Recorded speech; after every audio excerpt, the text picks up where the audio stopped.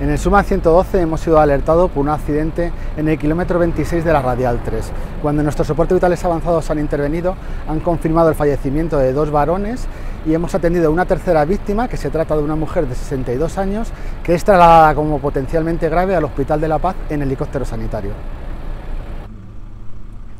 Bomberos de la Comunidad de Madrid ha tenido que intervenir en un accidente de tráfico de un turismo de alta cilindrada que se ha salido de la vía con tres ocupantes, dos de ellos han quedado en el interior, ha habido que hacer labores de descarcelación, eh, dos, los dos fallecidos y otra persona que ha salido despedida y que ha sido transferida a sanitarios.